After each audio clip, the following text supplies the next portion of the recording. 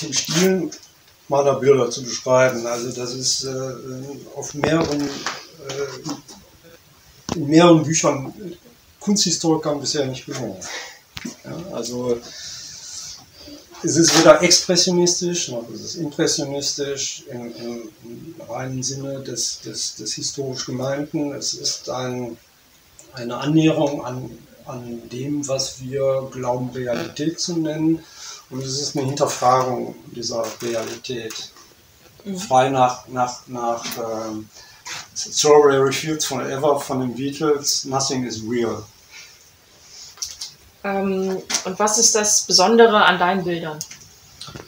Naja, das, was augenfällig ist, das, das Pastose, dass, äh, wenn man nah an die Bilder herantritt, äh, man einem Chaos äh, gegenübersteht, also dass äh, im Gehirn vielleicht ein Impuls kommt, zu staunen, zu sagen, ja, wie kann denn aus dem Gematsche und aus den Stieren und aus den Rissen so eine realistische, also vermeintlich realistische Präsenz entstehen. Und wenn man von Weitem die Bilder sieht, dann wird man nicht auf die Idee kommen, dass sie so aufwendig materialintensiv gemalt worden sind.